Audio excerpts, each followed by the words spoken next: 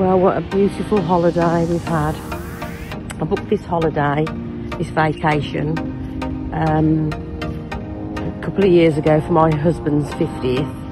And I was a bit apprehensive. I booked it through What a Holiday. And we chose Dubai. Well, they picked out Dubai and the Maldives for us as a package. And I was a bit apprehensive to start with. But down at What a Holiday was absolutely amazing throughout it all. And every inch of our journey has been really supportive.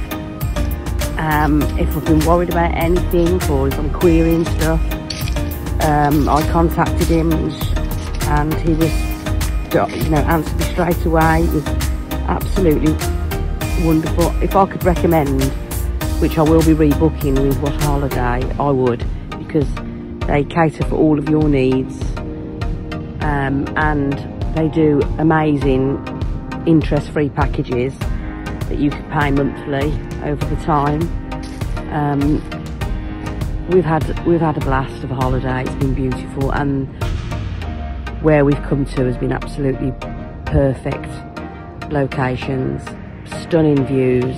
We've met some stunning people, and there'll be memories we'll keep forever. Um, if you are thinking about booking with What a Holiday or apprehensive like I was, don't. They're amazing. Just go for it. Enjoy every minute of it.